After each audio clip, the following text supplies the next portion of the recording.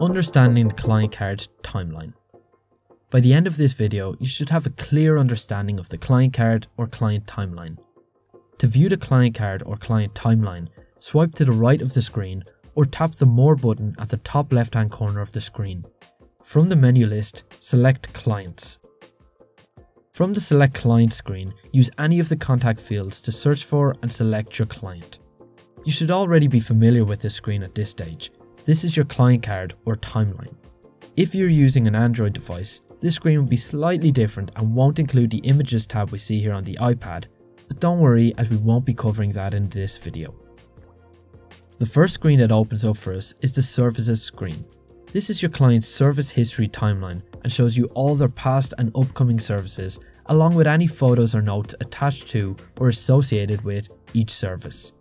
Again, if you're using an Android device, you won't have the big blue Add Photos button on this screen, but instead you will need to tap Photos to add pictures.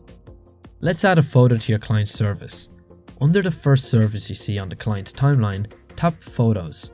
On an Android device, you'll see a before and after screen with a big green Take Photo button at the bottom. For this iPad video, you may or may not see any photos already, but that doesn't matter because we're going to add one anyway. Android users tap Take Photo and iPad users just tap the blue camera icon at the bottom.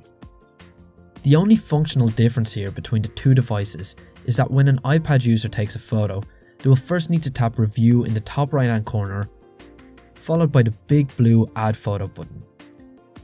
Don't forget to ask your client if you can have their permission to share their photo online.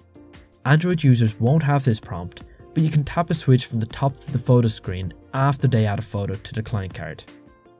Let's head back to the same client's timeline to view any notes associated with the same service.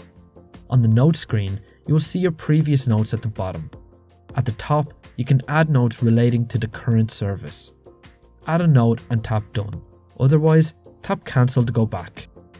As we've covered the service screen, it's time to take a look at the profile screen. Profile is divided into four sections. The first section is contact and has all your client's contact details. The second section is information around how many TreatCard points this client may have, how long they've been a client of yours, and even their gender. The fourth section shows you what consent this client has given you with regards to receiving marketing or reminder messages from you via SMS or email. You can also see whether the client card is fully completed, or dare we say it, they're banned from your salon. The final section in your client's profile is a record of your client's patch tests. Tapping the big green Add Patch Test button allows you to give it a description, select the staff doing the patch test, and state the result of the test. To edit any of the information you see here, tap Edit at the top right hand corner of the screen.